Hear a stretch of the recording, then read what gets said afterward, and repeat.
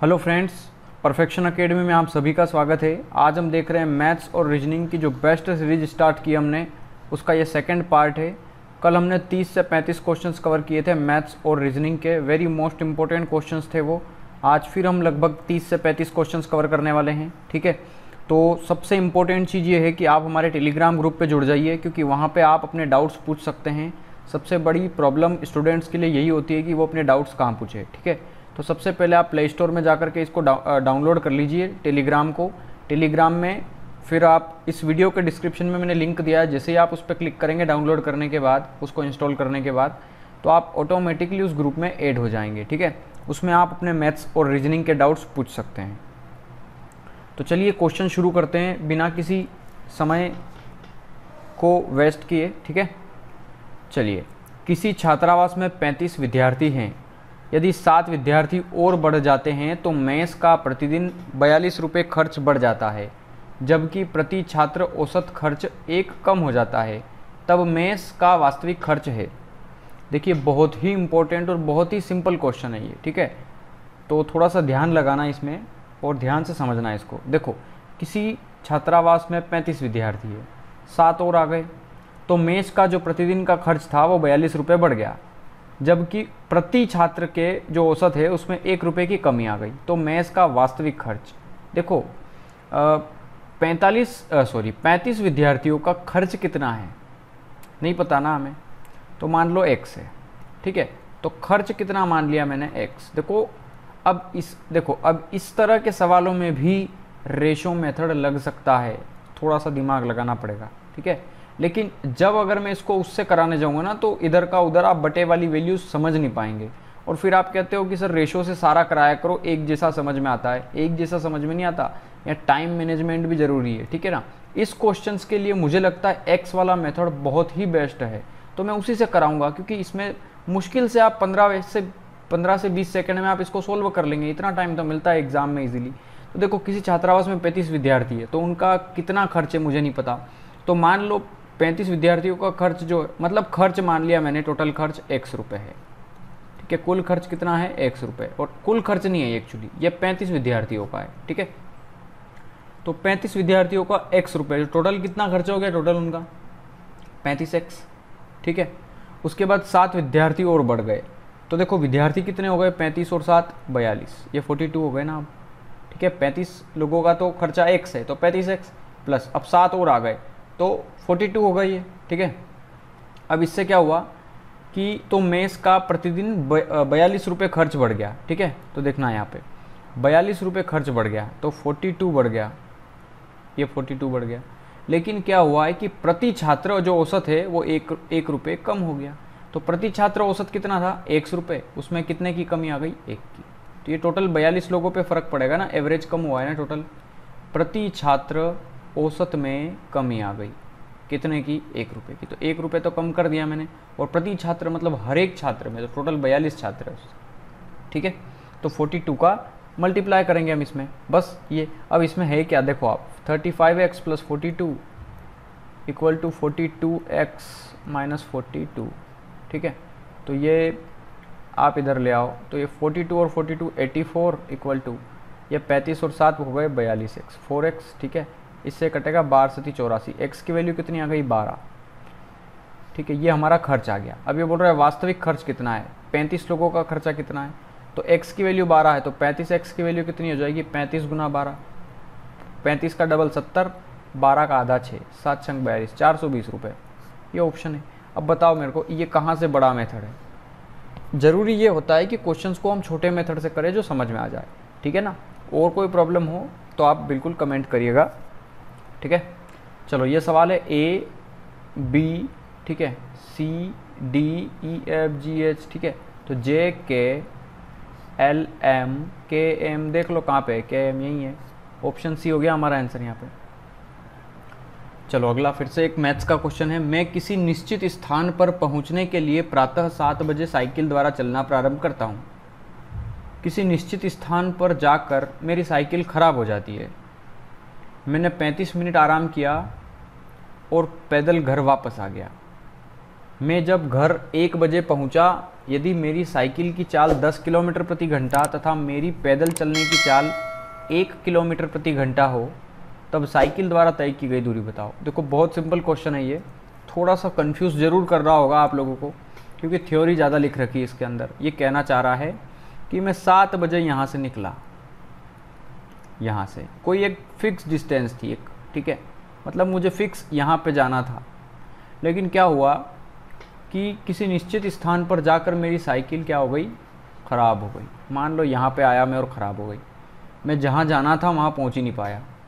और एक निश्चित स्थान पर जाकर के क्या हो गया? मेरी साइकिल ख़राब हो गई। चलो मान लो जहाँ जाना था वहाँ पे वो पहुँच गया, ठीक है? इधर से गया, या जितनी भी दूर गया हो, मान लो जहाँ जाना था वहाँ नहीं पहुँच पाया और यहाँ पे आ गया, ठीक है, ये इतना। और यहाँ पे आके इसकी साइकिल क्या हो गई? यहाँ पे ख़राब। अब ये गया कहीं से था? साइकिल से। लेकिन साइकिल ख़राब हो गई तो आया कहीं से? पैदल आया ठीक है वॉक करके आया। ये देखो, पैदल घर वापस आ गया। जितनी दूर गया, उतना ही वापस आएगा ना। तो दूरी क्या हो गई? कांस्टेंट दूरी बराबर है ना, दूरी कांस्टेंट हो गई ना, नियत हो गई। फिक्स है दूरी, कि जितना गया, उतना ही तो आ गया। साइकिल से गया था, आया पैदल बात वही है ना स्पीड का रिलेशन अलग हो सकता है, ठीक है ना? और मैं घर एक बजे पहुँचा, निकला था सात बजे, यहाँ पे पैंतीस मिनट आराम किया। यहाँ पे पैंतीस मिनट वेस्ट कर दिए मैंने, ठीक है? पैंतीस मिनट वेस्ट किए। सात बजे निकला था, यहाँ पे पैंतीस मिनट रुका और फिर वापस आया तो मैं टोटल घर कितनी बजे आ गया? वापस एक बजे। मेरे को टाइम कितना लगा टोटल सात से आठ, नौ, दस, ग्यारह, बारह, एक। एक, दो, तीन, चार, पाँच छः छः घंटे लगे टोटल मुझे। देखो, मैं एक एक चीज़ें समझा रहा हूँ, वरना। वरना सीधा लिख सकता हूँ मैं आपको वहाँ पे, लेकिन सीधा लिखूँगा तो समझ में नहीं आएगा। ठीक है? तो छः घंटे टोटल लगे, लेकिन उसमें से मैंने पैंतीस मिनट तो ट्रैवल किया ही नहीं ना।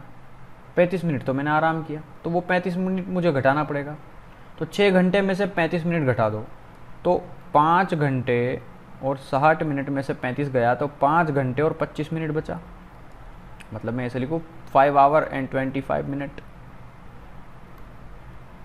ठीक है? इतने घंटे ट्रेवल किया मैंने तो पाँच घंटे और पच्चीस मिनट को आप घंटे में बदल लो, बटे में साठ से डिवाइड कर दो।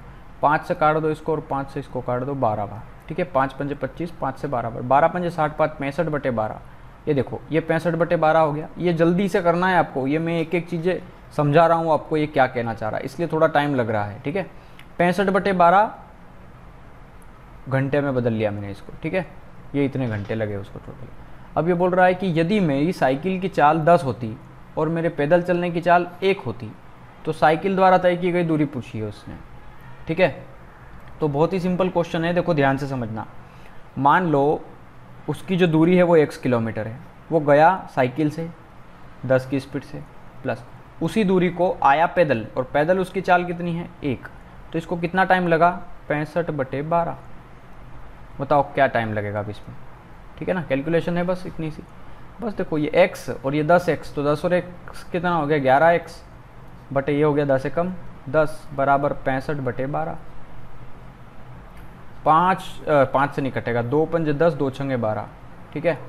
अब आप इसको कैलकुलेट कर लो, x की वैल्यू कितनी हो जाएगी? पैंसठ पंजे पाँच, पंजे पच्चीस की पाँच, दो बचा। पाँच छंग तीस, दो बत्तीस। तीन सौ पच्चीस बटे ग्यारह छंग छाछठ। सिक्सटी सिक्स हो गया ये, ठीक है? अब देखो, सिक्सटी सिक्स ऑप्शन में सिर्फ़ एक ही जगह है। आंसर लगा दो। या फिर आपको और सोल्व करना है तो सिक्सटी सिक्स का मल्टीप्लाई फोर में करो। चार छंग चौबीस की चार, चौबीस और पच्चीस छब्बीस, दो सौ चौंसठ। दो सौ चौंसठ प्लस इकसठ कितना होता है? चार और एक पाँच, छः छः, बारह के दो, तीन तीन सौ पच्चीस आ गया ना देखो ऊपर। तो ऑप्शन डी सेटिस्फाई कर गया। तो ये हो गया हमारा आंसर यहाँ पे। ठीक है ना? समझ में आ गया ना? बेसिक क्वेश्चन था बिल्कुल। थोड़ा समझने की ज़रूरत थी हमें बस। चलो। बारह वर्षीय महेश अपने भाई रमेश से तीन गुना बड़ा है। तो बारह वर्ष का है महेश। एक महेश है, एक रमेश है। देखो, मैं जब क्वेश्चंस कराऊँगा ना तो 99 परसेंट चांसेस है कि गलतियाँ नहीं होगी। लेकिन एक परसेंट चांस ये है कि मैं भी इंसान हूँ, ठीक है? तो मिस्टेक हो जाए ना तो आप ज़रूर कमेंट करके बताएँ ताकि मैं उसे अगली वीडियो में सुधार पाऊँ, ठीक है? क्योंकि कई बार बारह की जगह में अगर उसको तेरह पढ़ लूँगा तो प्रॉब्लम हो जाएगी फिर क्वेश्चन में। और आप बोल भी नहीं सकते क्योंकि वीडियोज़ रिकॉर्ड हो रही हैं यहाँ पर ठीक है? लाइव नहीं है हम। तो जो कमेंट ज़रूर करिएगा कि सर यहाँ पे मिस्टेक हो गई है तो हम उसको या तो ग्रुप में डिस्कस कर लेंगे या फिर कल हम अगली वीडियो में देखेंगे उसको, ठीक है? देखिए, महेश और रमेश हैं तो बारह वर्षीय महेश है तो महेश है बारह वर्षीय। अपने भाई रमेश से तीन गुना बड़ा है। तीन गुना बड़ा मतलब रमेश चार साल का होगा, तभी तो ये चार का तीन गुना है। बारह, ठीक है? अभी बोल रहा महेश की आयु क्या होगी जब रमेश की आयु का दुगना है? जब वो रमेश का डबल है तो रमेश का डबल है तब महेश की उम्र क्या होगी? तो पहले तो ये बताओ, रमेश की आयु चार तो हो गई है, और चार में तो ये तीन गुना है। डबल करने के लिए उम्र बढ़ानी पड़ेगी इसकी। तो अब ऑप्शंस को देखो आप। यहाँ पे कितना है? फोर्टीन तो अगर मैं इसको सेवन करूँ तो सात का डबल ये चौदह होगा। और ये दो साल बाद तो ये तीन साल बाद हो रहा है। डिफरेंस भी सेम नहीं है। हटा दो इसको। देखो बेसिक क्वेश्चन है बिल्कुल, ये आंसर नहीं है। अगला, चौदह के बाद सोलह दिया है तो सोलह। तो सोलह का आधा करो। मान लो रमेश अगर आठ साल का हुआ तो ये डबल होगा उसका सोलह का। अब ये देखो, ये चार साल बाद आठ का होगा ना? तो ये भी तो चार साल बाद सोलह का हो जाएगा। और चार चार साल बाद ये इसकी उम्र का डबल हो जाएगा। देखो तो ये बोल रहा है कि महेश की आयु क्या होगी? जब वो रमेश का डबल होगा तो रमेश की आयु जब आठ होगी, तभी वो डबल हो पाएगा। ठीक है? तो महेश की उम्र उस समय सोलह वर्ष होगी। ठीक है? ऑप्शन से किया मैंने। ठीक है? राष्ट्र, राष्ट्रपति, राज्य मुख्यमंत्री मत कर देना। हालाँकि मुख्यमंत्री है भी नहीं इसमें, ठीक है? मंत्री दिया है minister MLA member of legislative assembly ठीक है? एमपी मेंबर ऑफ़ पार्लियामेंट और राज्यपाल। राज्यपाल आंसर होगा। देखो, राष्ट्र का प्रमुख मतलब पहला व्यक्ति कौन होता है राष्ट्र का? राष्ट्रपति। तो राज्य का पहला व्यक्ति होता है उस उस राज्य का राज्यपाल, ठीक है? दो आठ पाँच एक सौ पच्चीस। देखो, दो का क्यूब होता है आठ तो पाँच का क्यूब होगा एक सौ पच्चीस। ठीक है? A one Z two six C three ये दिया हुआ है, ठीक है? तो यहाँ पे वन थ्री फाइव देखो ये वन थ्री फाइव तो अगला नंबर सेवन आना चाहिए। सेवन सेवन सेवन एट तो होगा नहीं, ठीक है? अब देखो, यहाँ छब्बीस, चौबीस, बाईस तो अगला नंबर आना चाहिए, बीस। बीस आना चाहिए और बीस सिर्फ़ यहीं आ रहा है है ना? ऑप्शन ए हो गया हमारा आंसर सुधा अपने मकान से दक्षिण की ओर 50 मीटर चलकर गई। देखो, पहले क्लियर कर लो डायरेक्शन समझ में नहीं आती बहुत सारे लोगों को। अगर मैं कॉपी को ऐसे रखता हूँ तो ईस्ट इधर होगा। अगर मैं कॉपी को ऐसे रखता हूँ तो ईस्ट इधर होगा। ठीक है, अगर मैं ऐसे रखता हूँ तो ईस्ट इधर होगा। कई लोगों को कन्फ्यूज़न है, आज ध्यान रख लेना। भारत का नक्शा आपने देखा होगा कुछ थोड़ा थोड़ा है, ऐसा कुछ, है ना? इसमें ये आप जानते हो ये दक्षिण भारत के राज्य हैं हमारे, ठीक है? या साउथ इंडिया है। तो बस जब भी आप जिस भी स्क्रीन में रहो, ये साउथ है, ठीक है? दक्षिण। और हाँ इधर आपका पहला राज्य जो आता है ना, यहाँ पे, जहाँ मैं अभी डार्क कर रहा हूँ ये पेन, यहाँ पे हमारा अरुणाचल प्रदेश, सबसे पहला राज्य। अरुणाचल मतलब अरुण, अरुणाचल मतलब अरुण किसका पर्यायवाची है? सूर्य का है ना? तो सूर्य इधर से निकलता है मतलब ये दिशा हो गई पूर्व। पहला राज्य कौन सा है? अरुणाचल प्रदेश, जहाँ से सूर्य का आंचल, सूर्य अरुणाचल होता है ना, अरुण का आंचल होता है। सूर्य जहाँ से निकलता है, ये पूर्व तो इसके सामने वाली डायरेक्शन ये पश्चिम होगी। और ये दक्षिण है तो ऊपर क्या होगा? उत्तर। जम्मू कश्मीर उत्तरी है। हालाँकि जम्मू कश्मीर उत्तर पश्चिम में आता है, लेकिन आप दिल्ली समझ सकते हो। दिल्ली की कुछ पोजीशन यहाँ पे है। ठीक है, ये मध्य प्रदेश है, जहाँ से मैं पढ़ा रहा हूँ आपको। ठीक है तो ये पोजीशन आपको पता होना चाहिए। मतलब मैं आपको लिख के बता दूँ कि जब भी आप कॉपी में लिखेंगे तो हमेशा राइट हैंड साइड ईस्ट होता है। इधर वेस्ट ठीक है? ऊपर नॉर्थ होगा आपका नॉर्थ इंडिया और नीचे साउथ इंडिया अब अगर मैं सुधा को घुमाऊँगा तो आपको पता चलेगा कि किधर जाना है, ठीक है? अब दायां बाएँ में भी कन्फ्यूज़न होता है बहुत सारे लोगों को, ठीक है? तो राइट हैंड होता है ना आपका जो सीधा हाथ है, वो होता है दायां। राइट हैंड हिंदी मीडियम वाले स्टूडेंट्स को प्रॉब्लम होती है। और बायां जो है, वो आपका लेफ़्ट हैंड होगा, ठीक है? चलो, सुधा अपने मकान से, मान लो सुधा का मकान यहाँ है, दक्षिण की ओर जाती तो अब देखो दक्षिण नीचे है, यहाँ पे देख रहे होंगे आप, ये साउथ ठीक है? तो ये मकान से दक्षिण की ओर गई 50 मीटर। अब इधर जा रही है तो 50 मीटर चलकर बाईं ओर घूमती है। तो देखो, अगर ये ऐसे जा रही है तो उसका लेफ़्ट हैंड इधर होगा और इधर घूम करके वो 20 मीटर जाएगी। तो ये 20 मीटर आ गई, ठीक है? बाद में उत्तर की ओर घूमकर वह 30 मीटर जाती है। अब आप देखो, उत्तर ऊपर है तो ये 50 तो पूरा आई है तो 30 मतलब यहाँ पे कुछ होगा, ठीक है? तो 30 जाएगी उत्तर में। उसके बाद वह, उसके बाद चलकर अपने घर जाती है और यहाँ से वो अपने घर जाती है सीधा। तो मेरे को एक बात बताओ ये पूरी डिस्टेंस 50 थी। ये यहाँ तक, ये 20 है तो ये भी 20 होगी। तो ये 30 है, ये 30 है तो ये भी 30 होगी इतनी सी। और ऊपर वाली कितनी होगी? 20 तो 20 20 ठीक है। अब ये बोल रहा है, अपने घर जाती। है तो वह, अब वह किस दिशा में चल रही है? मतलब अगर मैं यहाँ से वो निकली थी, ठीक है? यहाँ से वो निकली थी और अभी वो यहाँ से ऐसे जा रही है, ऐसे ऐसे। तो ये कौन सी डायरेक्शन होती है, आप जानते हो? ये वाली डायरेक्शन कौन सी होती है? नॉर्थ वेस्ट मतलब पश्चिम, उत्तर या उत्तर, पश्चिम, ठीक है? ऑप्शन ए होगा हमारा आंसर यहाँ पे, ठीक है? क्यों? क्योंकि यहाँ से अगर वो ऐसे जाती तो मैं लिखता वेस्ट पश्चिम, ठीक है? लेकिन वो यहाँ से ऐसे जा रही है, ऐसे नहीं जा रही है। वो ऐसे जा रही है, ठीक है? यहाँ से ऐसे जा रही है ना तो ये तिरछी दिशा है मतलब ये वाली डायरेक्शन है, ठीक है ना? किसी सांकेतिक भाषा में वर्ल्ड को, ये देखो, घुमाकर ही लिख दिया वर्ल्ड को तो अर्थ को क्या लिखेंगे? देखो, इसको ऐसे लिखा करो, थोड़ा टाइम लगेगा, लेकिन नंबर सही हो जाएगा आपका। O W R L R D L है ना? डी एल ये एल डी डी ठीक है? ये आर आर सेम है ओ डब्ल्यू डब्ल्यू ठीक है? तो E A R T H तो यहाँ एच यहाँ टी आर सेम पोजीशन पे ए आ गया ई आ गया। A E R H T A E R H T A E R H T option C ठीक है? X plus Y plus Z equal to zero तब x square upon y z plus y square ये है, ठीक है? इसका मान हमें बताना है। देखो, ये क्वेश्चंस एक पहले तो आप देखो, यहाँ पे एक चीज़ पता चल गई हमें। यहाँ पे एक चीज़ ध्यान रखना हमेशा।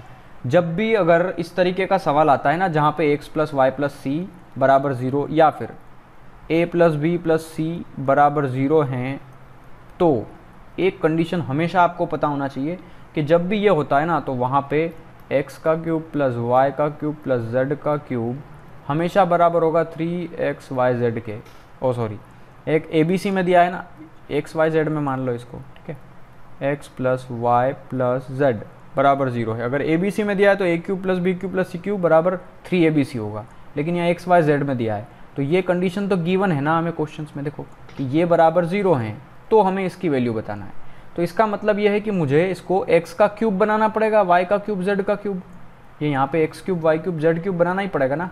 तो x cube y cube z cube कैसे बना सकते हैं हम? देखना। अगर मैं इसमें एक्स का मल्टीप्लाई कर दूँ ऊपर भी और नीचे भी, इसमें मैं वाई का मल्टीप्लाई कर दूँ ऊपर भी और नीचे भी तो वाई से वाई वापस कट जाएगा, यहाँ पे एक्स से एक्स कट जाएगा, यहाँ पे जेड का मल्टीप्लाई कर दूँ ऊपर और नीचे तो ऊपर क्या बनेगा? एक्स का cube upon x y z plus y का cube upon x y z ठीक है? प्लस जेड का cube upon x y z ठीक है? अब देखो यहाँ पे, हर जो नीचे वाली संख्या होती है, उसको हर कहते हैं। ऊपर वाली संख्या को अंश, ठीक है न्यूमरेटर डिनोमिनेटर तो यहाँ पे इसका बेस सेम है तीनों का, हर सेम है ना? तो एलसीएम क्या आ जाएगा पूरा? एक्स वाई जेड ठीक है? और ऊपर ये सारा चिपक जाएगा अपने आप से, ठीक है? एक्स का क्यूब प्लस वाई का क्यूब प्लस जेड का क्यूब ठीक है? तो जब ये बराबर हो ज़ीरो के तो x का क्यूब प्लस वाई का क्यूब प्लस जेड का क्यूब ये किसके बराबर होगा हमेशा? थ्री एक्स वाई जेड के। इसका मतलब ऊपर हो जाएगा थ्री एक्स वाई जेड। ये फार्मूला ही होता है, ठीक है?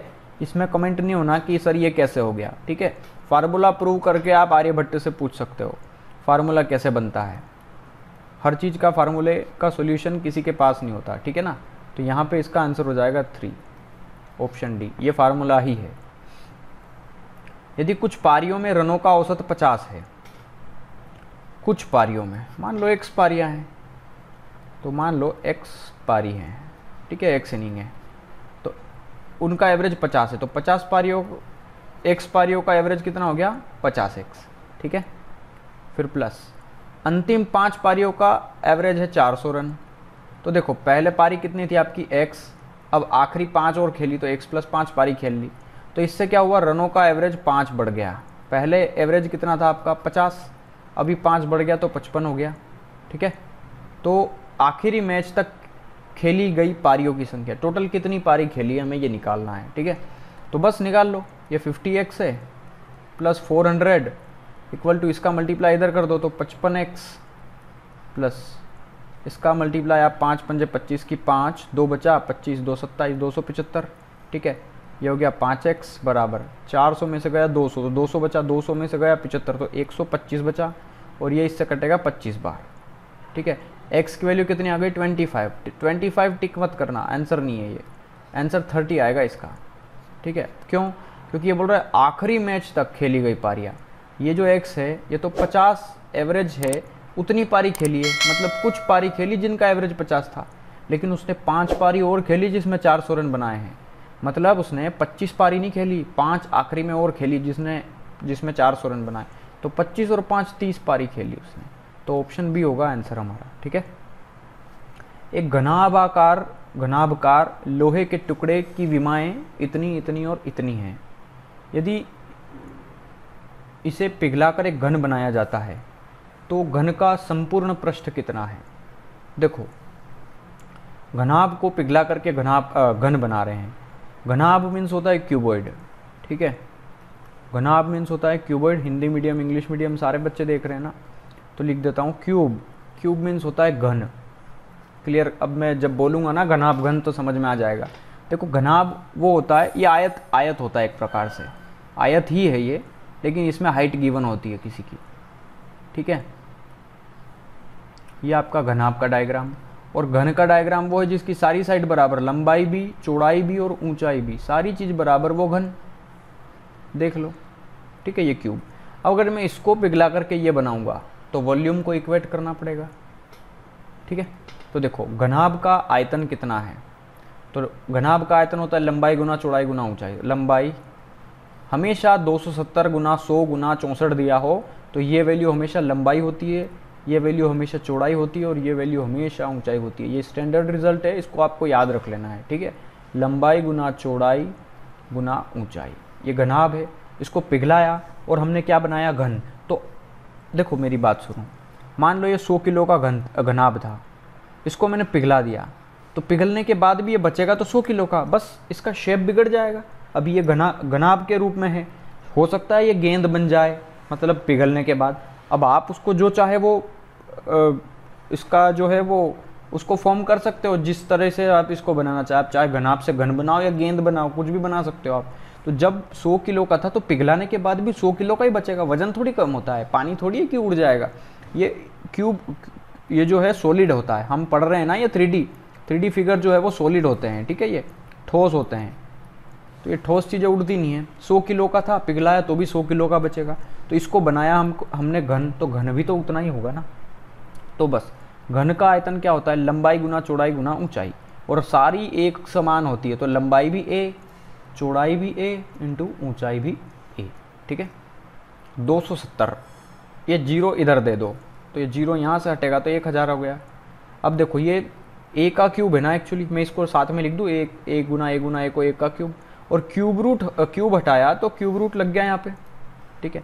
सत्ताईस तीन का क्यूब होता है, हज़ार दस का क्यूब होता है और चौंसठ चार का क्यूब होता है, बराबर ए तो दस चौके चालीस चालीस या एक सौ बीस। एक सौ बीस के आगे आपका एक घनाभ की साइड आ गई, जिसको आप लंबाई भी कह सकते हैं, चौड़ाई भी कह सकते हैं और ऊंचाई भी कह सकते हैं। ठीक है, सब 120 120 120 है।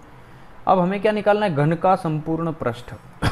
हमेशा एक चीज़ ध्यान रखना, इसे पिघला करके घन बनाया है और पूछा है संपूर्ण पृष्ठ तो आप यहाँ पे संपूर्ण पृष्ठ मत रख देना। सबसे बड़ी गलती ये होती है कंसेप्ट नहीं पता होता। जब पिघलाया है तो हम वॉल्यूम को इक्वेट करते हैं, ध्यान रखना वॉल्यूम को ही इक्वेट करना पड़ेगा। जब भी किसी चीज़ को पिघलाएँगे आप लोहे की रोड को पिघला करके गो, गोला बना दो कुछ भी बना दो आप ठीक है?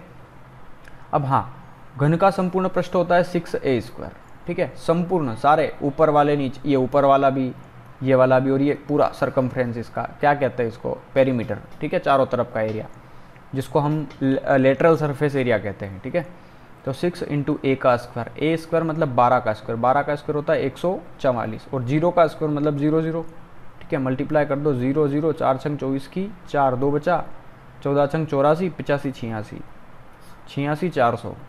ऑप्शन डी देखो यहाँ पे आकर के लोगों को लगा होगा कि ये ऑप्शन हो सकता है क्योंकि बारह का स्क्वायर एक लेकिन ये थोड़ा गलत हो सकता है, ठीक है? थोड़ा सा सोच विचार करके आराम से सोल्व करें, जल्दबाजी न करें। चार तिया सॉरी पहले क्वेश्चन पढ़ लेते हैं। आदत पड़ी हुई है जल्दी से सोल्व करने। चलो चार तिया बारह और तीन, पंद्रह बटे चार लिख तो लेते हैं, ठीक है? और तीन दुना छः और दो आठ बटा तीन।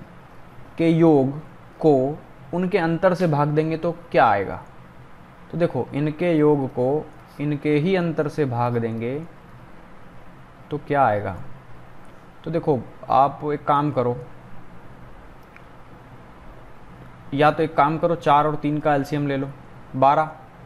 या फिर इसको बारह बनाने के लिए तीन का मल्टीप्लाई करना पड़ेगा तो ऊपर भी होगा एज इट या फिर ऐसे सिंपली सोल्व कर लो, जिस तरीके से हम करते हैं। पंद्रह तिया पैंतालीस प्लस आठ चौके बत्तीस, बटे में। पंद्रह तिया पैंतालीस माइनस आठ चौके बत्तीस। अब आप कह रहे होंगे, ये बटे का चार तिया बारह कहाँ गया? तो देखो, इसके भी बटे में बारह आएगा, इसके भी बटे में बारह आएगा। तो बटे के बटे में बारह और बटे के बटे में बारह बारह से बारह कैंसिल आउट हो जाएगा ना। इसलिए मैंने बारह नहीं लिखा था, ठीक है? पाँच और दो हो गया सात, चार और तीन हो गया सात। पाँच और दो हो गया तीन, चार और एक तेरह। सैंतालीस बटे तेरह। देखो यही होगा, तेरह पंजे पैंसठ, ये ज़्यादा हो गया। ज़्यादा चार और तीन सात अच्छा सेवेंटी सेवन है सॉरी ठीक है? तो तेरह पंजे पैंसठ पैंसठ और बारह। पाँच और दो सात छः और एक सात, बिल्कुल। ऑप्शन बी होगा हमारा आंसर इसको। ठीक है? चलिए अगला सवाल देखिए। यहाँ पे गिवन है रूट के अंदर x इनवर्स है ना? तो y अपोन एक्स हो गया ये।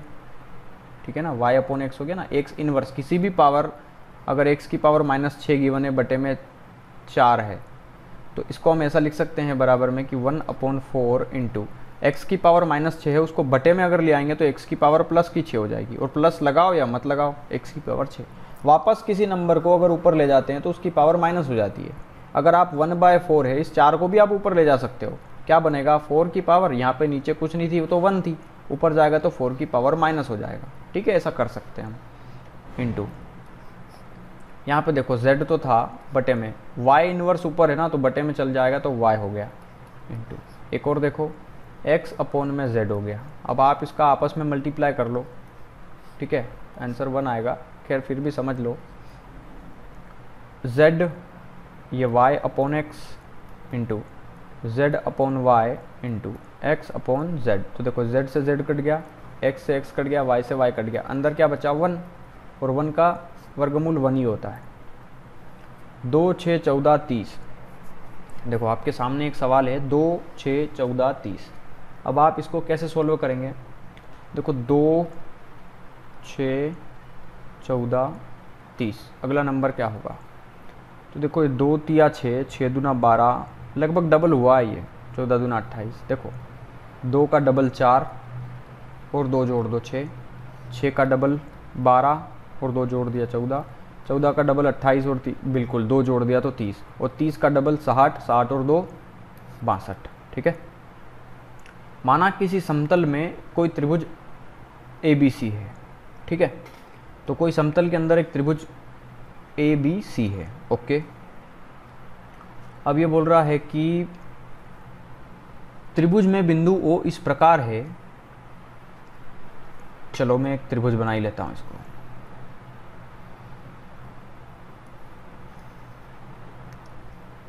ए बी सी देखो, ये जो है पूरा ज्योमेट्री ये मैंने बहुत अच्छे से कवर किया है।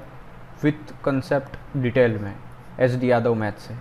आप उसको देख लेना, वीडियो के डिस्क्रिप्शन में पूरी जो एस डी यादव मैथ्स का सोल्यूशन है, जो भी चैप्टर आज तक आपको समझ में नहीं आया है ना, पक्का आ जाएगा आपको। एस डी यादव का एक बार सोल्यूशन देख लेना। बुक खरीदना नहीं है आपको बुक अगर आप प्रैक्टिस के लिए खरीदना चाहें तो खरीद सकते हैं, वरना कोई ज़रूरत नहीं है बुक खरीदने की। आप सिर्फ़ वीडियोज़ का सोल्यूशन देख लेंगे ना क्वेश्चन भी है सोल्यूशन भी है तो बहुत अच्छे से समझ पाएँगे आप। देखो ए बी सी है ये, ठीक है? त्रिभुज में बिंदु ओ इस प्रकार है कि ओ बी व ओ सी कोण बी और सी के समद्विभाजक है। बी और सी के समद्विभाजक मतलब बी ओ सेंटर पॉइंट होगा इसका कहीं ना कहीं यहाँ। और बी और सी का एंगल बाय सेक्टर कौन है। ओ बी व ओ सी कोण जो है वो बी और सी के समद्विभाजक है। मतलब दो बराबर भागों में बांटने वाले हैं ये ओ बी और ये ओ सी ऐसी लेंथ है ये, ठीक है? बी ए सी साठ है बी ए सी ये वाला एंगल कितना है? 60 डिग्री है। तो बी ओ सी बताना है हमें। बी ओ सी कितना होगा? देखो ये तो बेसिक प्रॉपर्टी होती है ठीक है? ये प्रॉपर्टीज़ है आपको पता होना चाहिए कि जब भी किन्हीं दो एंगल का एंगल बाय सेक्टर जिस पॉइंट पर मिलता है तो वहाँ पे जो एंगल बने कोण बनेगा देखो इस सर्कल के अंदर हम पढ़ चुके हैं कि किसी भी सर्कल के अंदर कितने भी एंगल बना दो आप एक ही जी, एक ही जीवा से मतलब एक ही चाप द्वारा, वो सारे एंगल बराबर होते हैं, ठीक है? अगर बात करें हम सेमी ये तो खैर सारे एंगल बराबर, ये भी ठीठा ये भी ठीठा ये भी ठीठा लेकिन अगर हम बात करें उसके सेंटर पे बनने वाले एंगल के तो सेंटर पे बनने वाला कोण हमेशा डबल होता है उसकी परिधि पे बनने वाले कोण का। मतलब अगर यहाँ पे 60 बन रहा है तो यहाँ पे 120 बनता है, ये दूसरी प्रॉपर्टी थी हमारी। मैंने सर्कल के अंदर बहुत अच्छे से समझाया उसको, ठीक है? यहाँ पे तो फटाफट में बता रहा हूँ मैं। और तीसरी प्रॉपर्टी यही थी कुछ, कि अगर सर्कल के अंदर ना हो ट्राइंगल और ट्राइंगल बाहर हो, और जिसके अंदर यहाँ पे आपका 60 बन रहा हो तो यहाँ पे जो एंगल बनेगा, वो कितने डिग्री का होगा? तो वो हमेशा क्या होता है? मैंने आपको बताया है कि एंगल बी ओ सी इसके लिए बता रहा हूँ ध्यान से समझना। एंगल बी ओ सी हमेशा होगा 90 degree plus angle A by two. ये प्रॉपर्टी होती है, किसी के मन में डाउट नहीं आना चाहिए कि, सर, ये कैसे हो गया? और ये प्रॉपर्टी कैसे होती है तो मैंने वहाँ पे बहुत अच्छे समझाया, आप समझ लेना। तो 90 plus angle A by two तो 90 plus angle A by two, साठ का आधा। 30 तो 90 और 30 कितना हो गया? 120 डिग्री। ये हो गया आपका आंसर यहाँ पे। ठीक है ना? ये क्वेश्चंस का कंसेप्ट है। आपको प्रॉपर्टी तो पता होना चाहिए ना। पहले कंसेप्ट ही पता नहीं होगा तो कितने भी सवाल कर लो, कोई मतलब नहीं होना। ठीक है ना? यदि x कोई प्राकृतिक संख्या है, तब x की पावर पाँच माइनस एक्स विभाज्य है। x अगर कोई प्राकृतिक संख्या है तो x की पावर पाँच माइनस एक्स विभाज्य है। देखो छः एक्स की पावर पाँच माइनस एक्स किससे कटेगा यहाँ पे? छः से लेकिन दस से नहीं। दोनों छः और दस से। दस से लेकिन छः से नहीं। न छः से और न दस से।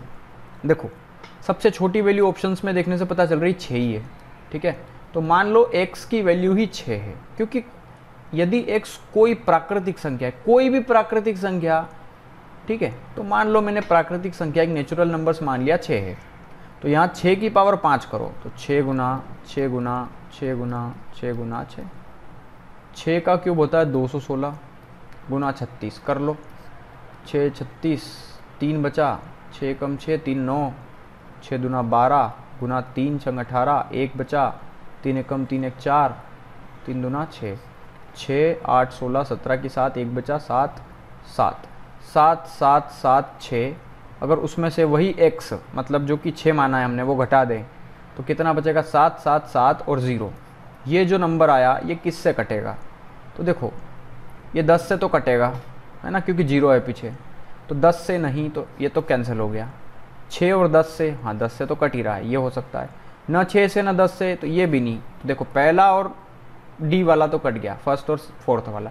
दस से, लेकिन छः से नहीं। अब छः से काटना है हमको, ठीक है? तो छः से कटने के रूल क्या है? जो तीन से भी कटे, दो से भी कटे। अरे छः का फैक्टर होते ना, तीन और दो। तो दो से कटने के लिए पीछे लास्ट में ज़ीरो आ रहा है तो बिल्कुल दो से कटेगा। तीन से कटने के लिए इनका सम तीन से कटना चाहिए तो सात का सात सात दूना चौदह, सात या इक्कीस। इक्कीस तीन से कटता है। मतलब छः से भी कटेगा ये नंबर और दस से भी कटेगा। तो ऑप्शन बी हो गया हमारा आंसर थोड़ा सा दिमाग लगाना है, समझना है। ठीक है? जिसको समझ में नहीं आए, फिर से देख लेना एक बार। चलो न्यून कोण त्रिभुज एबीसी में। न्यून कोण किसको कहते हैं? पहले तो ये समझो। वो एंगल वो ट्राइंगल जिसका एक कोण 90 डिग्री से क्या हो? छोटा हो। वह त्रिभुज जिसका एक कोण 90 डिग्री से छोटा हो, कोई भी एक त्रिभुज, जिसका एक एंगल 40 डिग्री हो सकता है, बाकी 90 से बड़े या 90 हो सकते हैं, ठीक है? 90 अगर एक एंगल 90 हो तो समकोण त्रिभुज।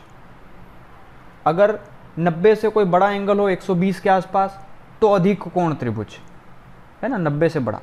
तो ये थोड़ा सा पता होना चाहिए आपको। फिर चलो, इसको समझते हैं। देखो, एक न्यून कोण त्रिभुज है एबीसी ठीक है? अब न्यून कोण त्रिभुज एबीसी के अंदर समझना, क्या कह रहा है? कि A B C sixty degree है यहाँ पे, ठीक है? तो ए बी सी चलो ऐसे समझो ए ये बी ये सी ठीक है? ये ए बी सी एंगल कितना है? सिक्सटी डिग्री यदि त्रिभुज ए बी सी का लंब केंद्र ओ है तो त्रिभुज ए बी सी का लंब केंद्र लंब केंद्र समझते हैं आप क्या होता है?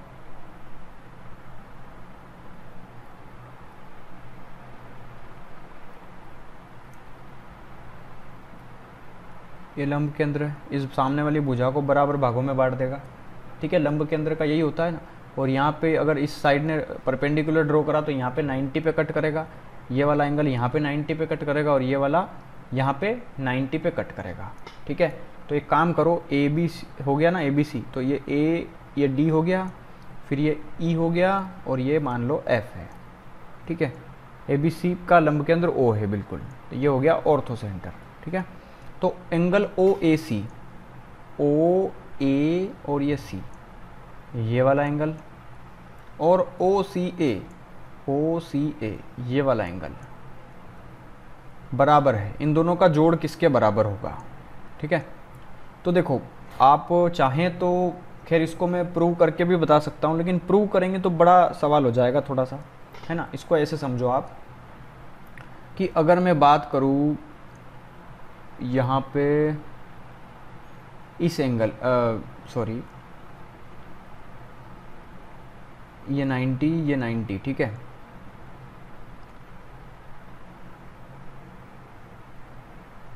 देखो, पहले तो आप ये काम करो, यहाँ पे दो चीज़ गिवन है हमें, है ना? ये 90 या 90 या 90 एंगल है ना? तो एंगल ओ डी बी देखो एंगल ओ डी बी दिख रहा है आपको, ये वाला ओ डी बी ये 90 डिग्री है, ये भी 90 है इधर, और ये भी 90 है, दोनों साइड 90 90 ठीक है? तो एंगल ओ डी बी नब्बे है, और एंगल ओ एफ़ बी ये भी 90 है O F B angle O F B ये भी 90 डिग्री है है ना? ओ एफ़ बी ये भी 90 डिग्री है, और ओ डी बी ये भी 90 डिग्री है, ठीक है? ये तीन एंगल पता चल गए तो चौथा एंगल हम निकाल सकते हैं ना ये वाला, देखना। ये 90 ये भी 90 और ये 60 है तो ये वाला एंगल कितना बचा? देखो, ये 90 और 90 180 ठीक है? तो ये वाला एंगल कितना बचेगा? ये वाला एंगल आप कहोगे 120 डिग्री बचेगा। क्यों? क्योंकि आमने सामने के कोणों का योग 180 होना, अरे त्रिभुज ये चतुर्भुज है ना F O D B F O D B इसके चारों एंगल्स का सम तीन सौ सौ साठ होना चाहिए। तो 90 और 90 180 तो ये हो गया। तो 180 इनका जोड़ भी होना चाहिए तो 60 तो गिवन है तो ये 120 बचेगा। ठीक है, ये 120 हो गया ना? अब देखो, हमें क्या निकालना है यहाँ पे? हाँ देखो सिंपल क्वेश्चन है। अगर ये इतना है 180 ठीक है? तो ये एंगल भी होगा 180 सॉरी अगर इसको मैं ट्रांसवर्स वर्टिकली अपोजिट एंगल ठीक है? ये 120 तो ये 120 हो गए, ठीक है? देखो समझो ये 120 है। ये, देखो, ये कचरा हो गया। ध्यान से समझना। ये वाला एंगल 120 है ना? तो वर्टिकली अपोजिट एंगल्स के होने के कारण, देखो, ये लाइंस यहाँ पे ऐसे गुजर रही है और ये लाइन यहाँ से पास हो रही है। तो ये वाला एंगल भी 120 होगा कि नहीं होगा? ठीक है? और 120 हो गया तो हमें एक ये वाला एंगल निकालना है और एक ये वाला एंगल का सम तो मान लो ये अल्फ़ा है, ये बीटा है, ठीक है? तो त्रिभुज ए, ये ओ, सी में त्रिभुज ए, ओ, सी में देखना। इसमें एक एंगल, इन तीनों का सम कितना होता है? त्रिभुज के तीनों कोणों का योग 180 होता है योग, ठीक है? तो एक एंगल है 120 डिग्री, एक एंगल है अल्फ़ा, एक एंगल है बीटा। इनका योग 180 होना चाहिए, ठीक है? तो अल्फ़ा प्लस बीटा बराबर 180 माइनस 120 कितना बचा? 60 डिग्री। तो इन दोनों एंगल्स का सम कितना हो गया? अल्फ़ा और बीटा का 60 डिग्री ठीक है? तो 60 डिग्री हो जाएगा यहाँ पे आंसर हमारा। थोड़ा सा समझने का था, बाकी कुछ नहीं था इसमें। चलिए, यहाँ पे बार आ गए, ठीक है? ये बार वाले क्वेश्चंस पे एक वीडियो बना दूँगा मैं, ठीक है? बार वाले क्वेश्चंस थोड़े टिपिकल होते हैं मतलब बिल्कुल बेसिक होते हैं, लेकिन कुछ लोग अगर छोटी सी एक माइनर मिस्टेक कर दी ना तो गया नंबर समझो। और देखो, अब आपकी एग्ज़ाम्स में भी आते हैं ये क्वेश्चंस ठीक है? तो एक वीडियोज़ इस पर बना दूँगा। छोटी सी वीडियो दस एक मिनट में मैं सारा कंसेप्ट बता दूँगा इसका। देखो टू पॉइंट ज़ीरो सेवन है, ठीक है? तो टू पॉइंट ज़ीरो सेवन में हम इसको ऐसे समझा करो कि two plus zero two plus point seven को भी हम अलग कर सकते हैं। इसको मतलब मैं ऐसे लिख सकता हूँ two point zero point zero seven ठीक है? लेकिन इसको अलग करने की बजाय आप सीधा इसको ऐसे ही लिखो। देखो, दो और ज़ीरो सेवन है ना? तो सात। और बटे में कितना है ये? दो अंकों की संख्या है ना ये? एक अंकों की संख्या है ना सात तो बटे में कितना आ जाएगा नौ। ठीक है? एज इट इज़ यहाँ पे देखना अब।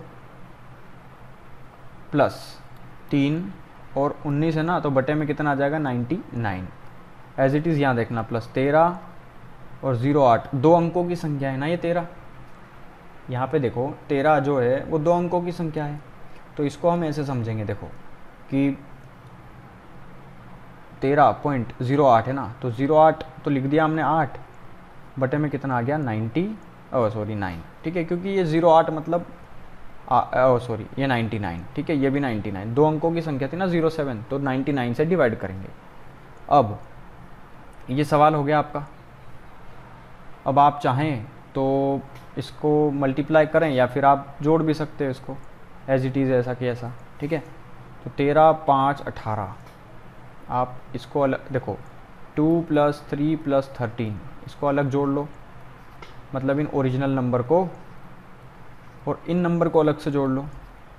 Seven upon ninety nine plus nineteen upon ninety nine plus eight upon ninety nine ठीक है?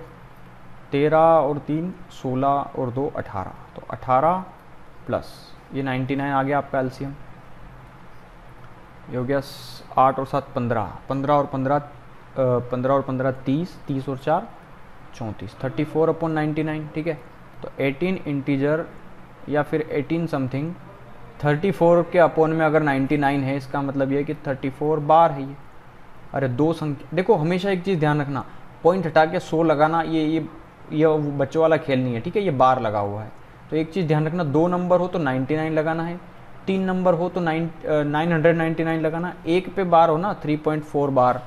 तो थ्री इंटीजर फोर बाय, और यहाँ पे एक नंबर है तो नौ लगाना है। अगर ये फोर्टी एट हो तो नाइन्टी नाइन लगाना है। फोर एट नाइन हो तो एक और नौ लगाना है, ठीक है? लेकिन अगर इस तरीके से दिया है, थ्री पॉइंट फोर एट बार तो एक नंबर छोड़ना है। इसका मतलब ये है कि देखो, एक नंबर के नीचे बार है तो नौ लगाना है, और एक नंबर छोड़ना है, इसका मतलब ज़ीरो लगाना है। खैर, ये चीज़ें आप वहाँ पर ही समझ पाओगे। अभी आप इतने पे ध्यान दो तो 18.34 18.34 ऑप्शन ए होगा आंसर यहाँ पे, ठीक है? अभी समझ में नहीं आए तो कोई बात नहीं, आप कमेंट ज़रूर करिएगा कि सर समझ में नहीं आया, इसका एक वीडियो कंप्लीट होगा डोंट वरी एक वीडियो कंप्लीट बना देंगे इस पर यदि तीन क्रमागत प्राकृतिक संख्याओं के वर्गों का योग तीन सौ पैंसठ है तो क्रमागत प्राकृतिक संख्या, जो हमें प्रकृति ने दी है अच्छा ज़ीरो की तो खोज हुई है ना, ज़ीरो का आविष्कार हुआ है, हालाँकि ज़ीरो, सारे नंबर का आविष्कार हुआ है, लेकिन ज़ीरो का एक अलग से नंबर मानते हैं इसको, ठीक है? बाकी सारे नंबर्स की, ठीक है? ज़ीरो के बिना किसी भी नंबर का कोई महत्व नहीं है। तो यदि तीन क्रमागत प्राकृतिक संख्याओं के वर्गों का योग, मान लो पहली संख्या एक से, दूसरी है एक्स प्लस एक, क्रमागत चाहिए, एक के बाद एक। तीसरी होगी एक्स प्लस दो, और इन प्राकृतिक संख्याओं के वर्गों का योग, ठीक है?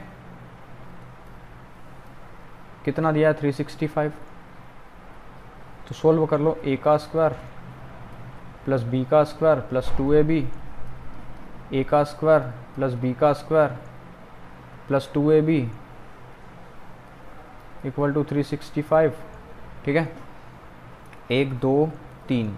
Three X square plus six X equal to three sixty, ठीक है? क्योंकि चार, एक और चार, पाँच पाँच उधर गया तो थ्री सिक्सटी बचा।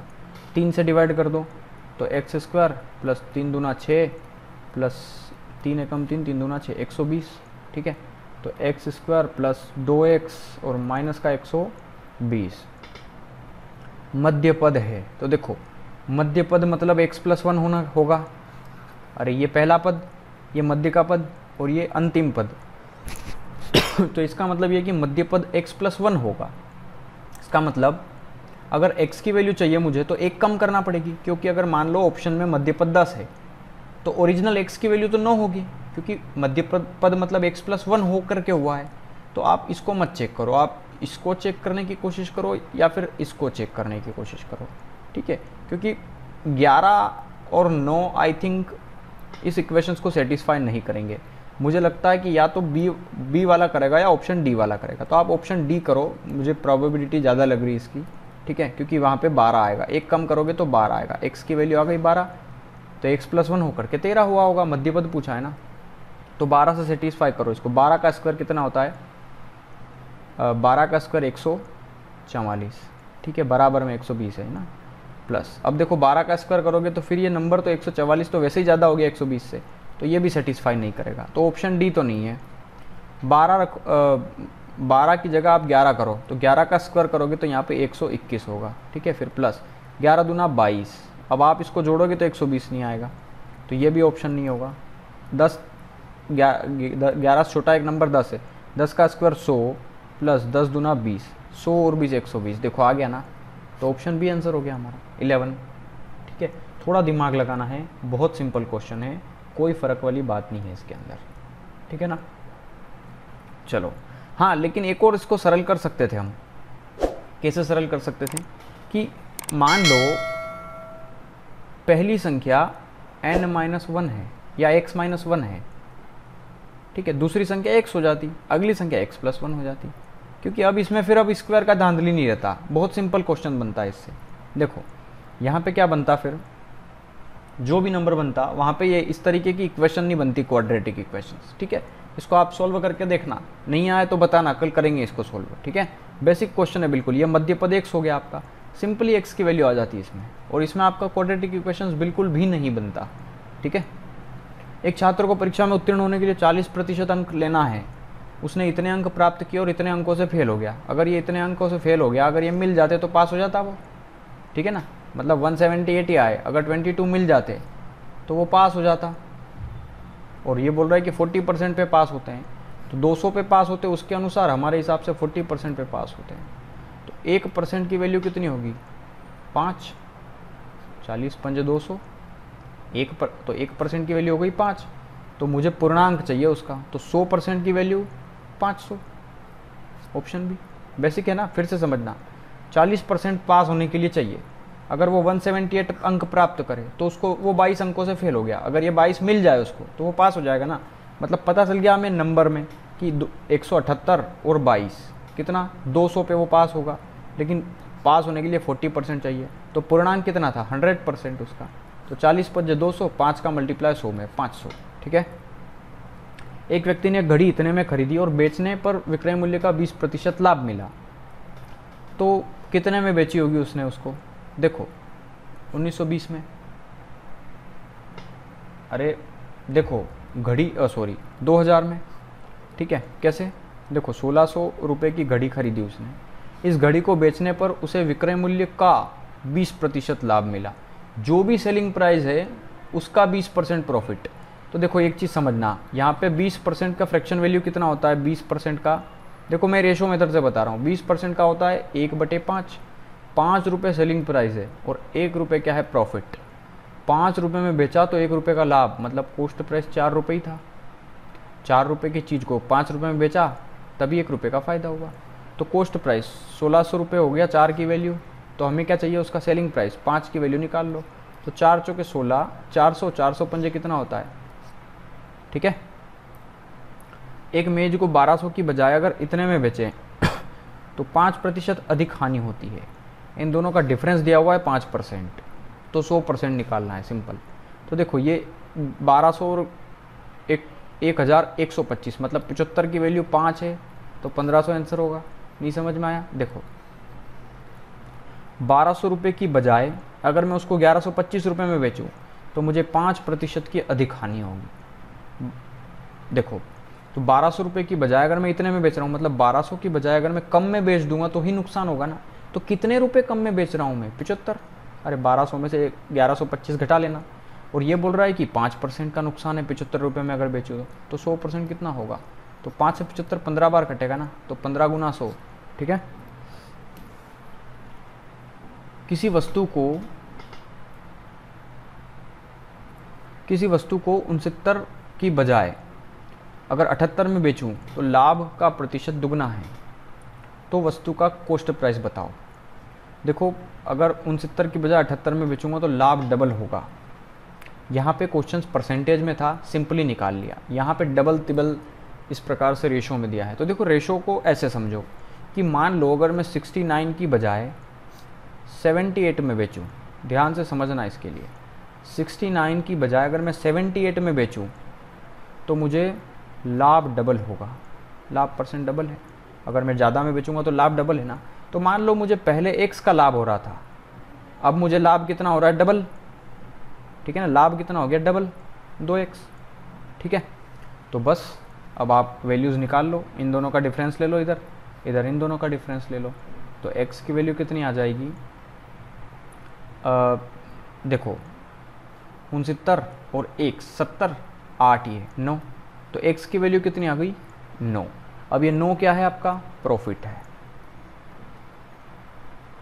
ठीक है? ये नौ क्या है आपका? लाभ। तो सीधी सी बात है कि अब x की वैल्यू अगर मैं यहाँ पे समझो, ये यहाँ यहाँ रख सकता हूँ ना मैं। दोनों में से कहीं भी रख दो सेम आंसर आना है। देखो, x की जगह अगर मैं यहाँ पे रख दूँ नौ तो प्लस का नौ मतलब नौ रुपये का क्या हुआ लाभ? उनसत्तर में, ये क्या है उनसत्तर?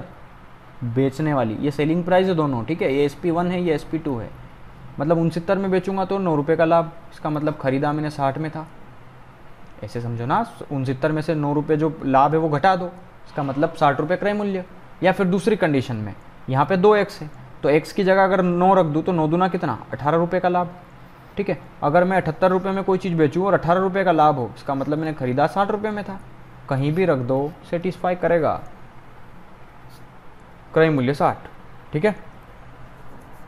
चलो, ये बेसिक सा एक क्वेश्चन है डीआई का। इसको आप कर सकते हो यार, बहुत सिंपल क्वेश्चन है। नाइनटीन नाइन्टी नाइन में 1999 में खाद्यान्न उत्पादन दिया लाख टन में। कोई फ़र्क नहीं पड़ता, लाख टन में दे, किलो में दे, क्विंटल में दे, कोई नहीं। हमें उस पर ध्यान देना ही नहीं है। अब ये बोल रहा है कि किस राज्य में खाद्यान्न का उत्पादन सबसे ज़्यादा है? खाद्यान्न।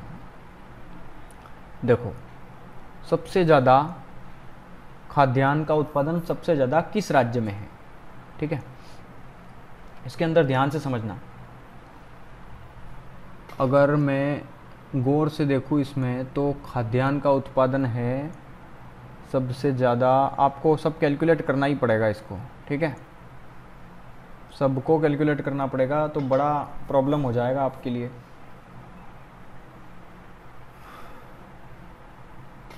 अब सारे कब तक जोड़ेंगे हम, ठीक है ना? तो ये तो बड़ा कैलकुलेटिव हो गया कि सबसे किस राज्य में खाद्यान्न का उत्पादन सबसे अधिक है? एक्चुअली क्या होता है कि डीआई के अंदर जितना सिंपल क्वेश्चन आता है ना लोकल एग्ज़ाम में, उतना टफ होता है वो। कैलकुलेशन इतना ज़्यादा दे देता है वो। और एसएससी मेंस के अंदर जो क्वेश्चन आते हैं ना, वो दिखने में बहुत खतरनाक होते हैं, लेकिन बिल्कुल बेसिक सा होता है। कैलकुलेशन थोड़ा सा कंसेप्ट उसमें अच्छा रहता है। आप देखो, इसमें कैलकुलेशन कितना बड़ा आ गया। सबका जोड़ो और फिर पता करो कि कौन है। तो आप सारे जोड़ लो। पैंतालीस से लगा करके अन्य तक। फिर इधर क्यू का जोड़ो आर का जोड़ो एज का जोड़ो टी का जोड़ो यू का जोड़ो, जो ज़्यादा आ जाए, उसमें टिक कर देना, ठीक है? देश में उत्पादित, अब ये जोड़ तो आप सकते हो ना, कमेंट तो नहीं करोगे ना इसका कि सर ये क्यों नहीं बताया आपने? मैंने बता दिया आपको, सारे खाद्यान्नों को जोड़ लो आप, सबसे उत्पादन ज़्यादा कहाँ है? देश में उत्पादित चावल और गेहूँ की मात्राओं में क्या अनुपात है? तो देश में चावल और गेहूँ का अनुपात, ये चावल और ये गेहूँ, इनका रेशो आप निकाल लो, ठीक है? इन सबको जोड़ लो, गेहूँ को और चावल को। इन दोनों को जोड़ने के बाद ये जो भी आई है टोटल ये वाला रेशो ये वाला कटे तो काट देना। ऑप्शन में से एक आध आ जाएगा। ठीक है सिंपल है। मैंने देखो तरीका बता दिया है मैंने। सबसे कम गेहूँ उत्पादन करने वाला राज्य। गेहूँ सबसे कम कहाँ हो रहा है? तो ये तो बता सकते हो अब। सबसे कम या आठ नंबर वाला। देखो वी है ना? देखो कुछ ये ऐसे क्वेश्चन हैं कोई ज़्यादा वो वाले नहीं है लेवल बे, बेसिक सा ही। है हालाँकि थोड़ा टफ आएगा क्वेश्चन यदि four b square plus one upon b square equal to two हो तो इसकी वैल्यू कितनी है? देखो चार का डबल है ये। ठीक है और यहाँ स्क्वायर यहाँ क्यूब है तो थोड़ा ध्यान रखना। इसको आप एक काम करो स्क्वायर की फॉर्म में तोड़ लो इसको। क्योंकि अगर मैं इसको दो का स्क्वायर कर दूँगा तो दो का क्यूब भी आठ हो जाएगा। तो दो की फॉर्म में बना करके मैं इसको इजीली कैलकुलेट कर पाऊँगा। ठीक है? तो एक काम करो, इसको दो का फार्मूला बना लो। मतलब ये है, देखो, कि a प्लस बी का होल स्क्वायर का फार्मूला बना रहा हूँ, जो कि होता है a का स्क्वायर प्लस बी का square plus two a b ठीक है, मैं इस फार्मूले को बनाऊँगा। आप जहाँ समझ में नहीं आए, इस फार्मूले को देखते रहना। फोर बी को मैं लिख सकता हूँ टू बी का स्क्वायर दो का स्क्वायर चार बी का square b square plus b का स्क्वायर मतलब मैं one o one upon b का होल स्क्वायर कर सकता हूँ। है ना फिर प्लस अब देखो कुछ नहीं दिया है बस डेटा ही इतना दिया हुआ है और बराबर में कितना दिया है? दो. ठीक है? तो टू ए बी बनाना है ना मेरे को तो एक काम करो दोनों तरफ़ एक जैसे नंबर का आ, को जोड़ दो. जैसे मान लो प्लस का टू इंटू ए ए कितना है? टू बी देखो यहाँ टू बी है ना? ए इंटू बी कितना है? One upon b as it is ये कि ये नंबर आप इधर भी जोड़ दो. दो गुना two b into one upon b जोड़ने से क्या होगा? वापस इस नंबर से ये नंबर कट जाएगा और पहले जैसी सिचुएशन ये बराबर दो आ जाएगा ना वापस। ठीक है ना? आ जाएगा ना? लेकिन हमें काटना नहीं है। काटना ही होता तो जोड़ना क्यों? देखो, अब बी से बी कट गया इधर इधर बी से बी कट गया। तो ये देखो, किसका फार्मूला बन गया आपका? इधर, है ना? इधर मत काटो इसको। ये तो फार्मूला बनाना है इधर तो।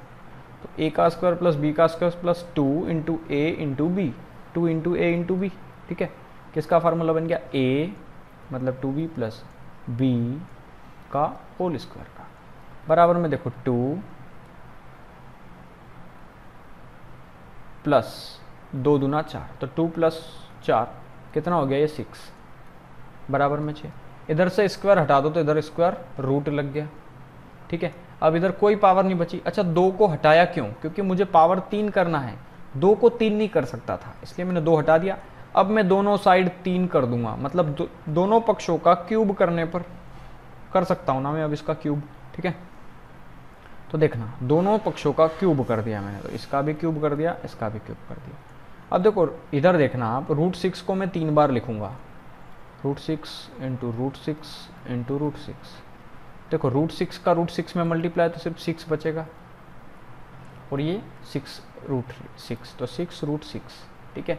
अब a प्लस बी का क्यूब a प्लस बी का क्यूब फार्मूला आपने देखा होगा, सुना होगा, पढ़ा होगा, क्या होता है? A प्लस बी का क्यूब है ना? बराबर. A का क्यूब प्लस बी का cube minus three a b into a plus b ठीक है? तो देखो. A का क्यूब प्लस बी का क्यूब ठीक है? A का क्यूब प्लस बी का cube plus three a b bracket में ए प्लस बी ठीक है? हाँ अब यहाँ पे देखना। ए का क्यूब प्लस बी का क्यूब ठीक है?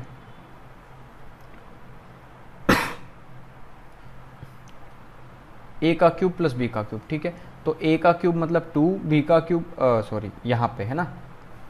इसको मैं लिख सकता हूँ ए का क्यूब तो ए का क्यूब प्लस बी का cube plus three into a into b और ब्रैकेट में ए प्लस बी ये प्लस ये.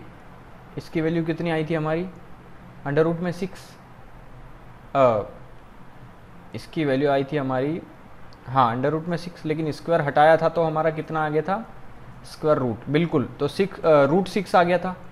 ठीक है? तो इसकी वैल्यू आ गई रूट की सिक्स ठीक है? समझ में आ गया ना ये? अब देखना, इसकी वैल्यू ये है और हाँ इसकी वैल्यू हमें निकालना और बराबर में कितना गिवन है? सिक्स रूट सिक्स ठीक है ना? तो इस नंबर को मैं उठा खैर चलो छोड़ो इसको। ये देखो बी से बी कट गया। तो थ्री टू जा कितना बचा? सिक्स तो ये सिक्स रूट सिक्स बचा। और इधर बराबर में सिक्स रूट सिक्स ठीक है? तो देखो, ये प्लस का सिक्स रूट सिक्स देखो तीन दुना हो गया ना ये छः तो ये सिक्स रूट सिक्स ये इधर जाएगा। तो six root six minus six root six कितना बचेगा? ज़ीरो ऑप्शन है ठीक है? त्रिभुज एबीसी की भुजा भुजा बी त्रिभुज एबीसी की बीसी भुजा डी तक बढ़ाई गई। देखो, त्रिभुज ए बी सी पहले बना लो। A B C A B C की बी सी भुजा जो है वो डी तक बढ़ाई गई। बी सी ये डी तक बढ़ाई गई, यहाँ पे कोई पॉइंट है डी तदनुसार यदि ए सी डी एक सौ आठ है ए सी डी ये वाला एंगल एक सौ आठ है। और एंगल बी जो है वो एंगल ए का आधा है। एंगल बी जो है वो एंगल ए का आधा है। एंगल ए को मान लिया टू थीटा तो ये हो गया उसका आधा थीटा ठीक है ना? तो एंगल ए का मान क्या होगा? तो कर सकते हो इजीली कैलकुलेट किसी भी त्रिभुज के अंदर अगर एक्सटीरियर एंगल जो होता है, वो अंदर के दो एंगल्स के सम के बराबर होता है। अगर ये वाला एंगल अल्फ़ा है और ये वाला एंगल एक्स है और ये वाई है तो अल्फ़ा हमेशा बराबर होगा एंगल एक्स प्लस वाई के। ये प्रॉपर्टी होती है ट्राइंगल की। मैंने ट्राइंगल के अंदर बहुत डिटेल में पढ़ाया है इन चीज़ों को। आप देख लेना। तो theta plus theta three theta two theta plus theta three theta बराबर वन ज़ीरो एट तो तीन से काट दो इसको, तीन तिया नौ, तीन चंग अठारह। ठीक है? तो थीटा की वैल्यू आ गई थर्टी सिक्स तो हमें चाहिए एंगल ए की वैल्यू। ए कितना है? Two theta. तो टू थीटा कितना होगा? जब थीटा थर्टी सिक्स है तो टू थीटा होगा सेवेंटी टू। ठीक है? ऑप्शन बी होगा हमारा आंसर। नीचे दी गई आकृति में ओ वृत्त का केंद्र है। ए और बी डी पी पर प्रतिच्छेद करते हैं। यदि ए ओ बी सौ डिग्री है तो ए पी भी कितना होगा? देखो फिर से समझना इसको डायग्राम को मैं बड़ा बना देता हूँ। चलो ठीक है? ओ वृत्त का केंद्र है। ये इसका सेंटर है। ठीक है? ए सी और बी डी पी पर मिलते हैं। ए सी और बी डी ठीक है ये ए सी हो गया। ये बी डी हो गया। ये बी डी ये ए सी पी पर मिल गए। ये पी पॉइंट है। ठीक है? ये वाला एंगल गिवन है 100 डिग्री का। ठीक है? तो देखो, एक चीज़ समझना। अभी मैंने एक प्रॉपर्टी बताई थी आपको, और ये यहाँ से पास होकर के आगे जा रहा है, ठीक है ना? ये इससे पास हो रहा है और ये आगे मिल रहा है, ठीक है? और ये पॉइंट ई e है। तो एक चीज़ देखो यार यहाँ पे, एक चीज़ अच्छी है, दिख गई हमको कुछ, कि यहाँ पे अगर मैं एक प्रॉब एक आपको एक कंसेप्ट बताऊँ तो ये सेंटर है इसका, वृत्त का, और किसी चाप द्वारा केंद्र पे बना कोण, उसकी परिधि पे बने कोण का ये थीटा है तो ये डबल होता था टू थीटा। तो एज इट इज़ यहाँ देखो, ये इसका चाप है ए ए बी ए बी क्या हो गया, ये पूरा? ये चाप हो गया ना इसका? चाप या जीवा, जो भी कह सकते हो आप। जीवा मतलब ये है कि ए से बी तक को मैं मिला दूँगा, ये जीवा हो जाएगी, और ये पूरी चाप है आपकी। तो ए बी चाप द्वारा केंद्र पे बना कोण, इसी ए बी चाप द्वारा परिधि पे बने कोण का डबल है ये। मतलब ये सौ है तो ये कितना है? पचास है। ठीक है?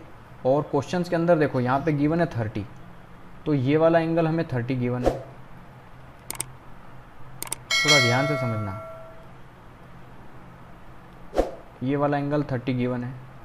तो तीस, पचास तो ये कितना बचा? पचास और तीस अस्सी हो गया तो ये कितना बचा? ये वाला एंगल बचा एंगल पी वाला ये ये सौ डिग्री का, ठीक है? मतलब ये वाला पूरा एंगल एक सौ अस्सी होता है, क्योंकि स्ट्रेट लाइन पे बनने वाला पूरा एंगल 180 होता है। 100 इधर बन गया तो अंदर कितना बचा? 80 डिग्री, ठीक है? क्या पूछा था? ए पी बी बताइए। A P B A P B अस्सी डिग्री। समझ में आया होगा, ठीक है? प्रीति का अरुण नामक पुत्र है। तो ये प्रीति है। इसका एक पुत्र है, अरुण।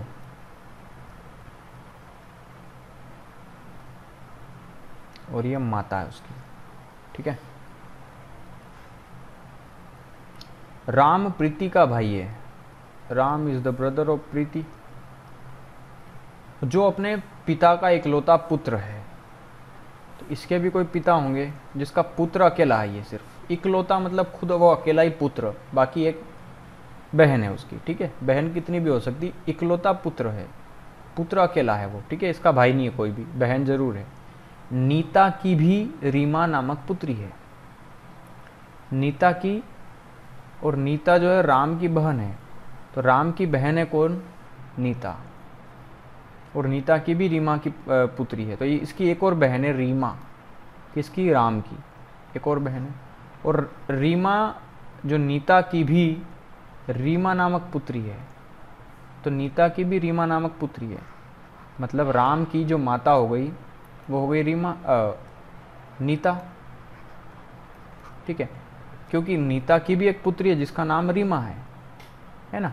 और नीता जो है वो राम की बहन है। तो नीता अच्छा सॉरी गलती हो गई। नीता राम की बहन है। ठीक है, नीता राम की बहन है और नीता की भी पुत्री है, रीमा। ठीक है, ये पुत्री है। तो अरुण का रीमा के साथ क्या रिश्ता है? अरुण का रीमा के साथ क्या? देखो, रीमा का ये भाई हुआ, कौन? ये नीता और प्रीति कौन है? बहन बहन हुई, सगी बहन। तो ये मौसी का लड़का हुआ और ये मौसी की लड़की हुई। ये मौसी का लड़का अरुण, ये मौसी की लड़की। तो मौसेरा भाई हुआ ना, ठीक है? एक आदमी एक स्थान से चार मील उत्तर दिशा में गया, ठीक है? अब डायरेक्शन समझ में आ गई होगी। ईस्ट वेस्ट नॉर्थ साउथ ठीक है? देखो, एक स्थान से एक आदमी चार मील उत्तर में गया। मान लो यहाँ से गया वो चार मील उत्तर में। ये उत्तर में गया चार मील। फिर बाएँ मुड़ा और छः गया। ये बाएँ मुड़ करके छः आ गया। फिर दाएँ मुड़कर तीन गया। फिर ये तीन आ गया, ठीक है? तीन थोड़ा सा छोटा होता है है ना? छोटा बना लो उसको। ये तीन गया।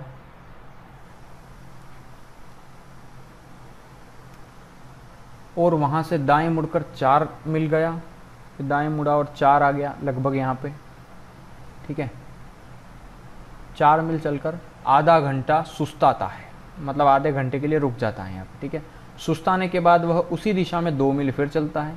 फिर दो मील आ गया मतलब इसी रोड पे आ गया यहाँ पे। मतलब कुल मिला करके छः आ गया। ठीक है? चार और ये दो छः उसके बाद वह दाएँ मुड़ता है, फिर से इधर मुड़ता है और एक मील चलता है। मतलब ये यहाँ पे आ गया एक। तब अंतिम स्थिति में उस आदमी का मुख किस दिशा में है? अगर उसका मुख इधर है, क्योंकि अब वो इधर आ रहा है ना, नीचे साइड तो साउथ की तरफ़ मुँह है। अरे, यहाँ से चला था ना वो, यहाँ से इस पॉइंट से। तो अभी वो जिस पॉइंट से चला था, उसी तरफ़ देख रहा है। मतलब वो पॉइंट अगर मैं यहाँ मान लूँ और कोई व्यक्ति यहाँ से उसको देखता है, इसका मतलब वो साउथ में देख रहा है, दक्षिण में देख रहा है ना? तो दक्षिण होगा हमारा आंसर यहाँ पर, ठीक है? चलिए ठीक है, आज भी हमने लगभग 30-35 क्वेश्चंस कवर किए हैं, जिसमें मैथ्स रीजनिंग के बहुत अच्छे अच्छे क्वेश्चंस भी मैंने कवर किए हैं इसके अंदर, थोड़े टफ थोड़े इजी ठीक है? तो इसी तरीके से आपका पेपर भी आता है, थोड़ा टफ थोड़ा इजी ठीक है? तो सारे, बहुत सारे क्वेश्चंस हम करने वाले हैं ऐसे, ठीक है? तो आप टेलीग्राम पे जुड़ जाइए जल्दी से जल्दी और छः से आठ तक ज़रूर रोज़ क्वेश्चंस पूछिए आप, ठीक है?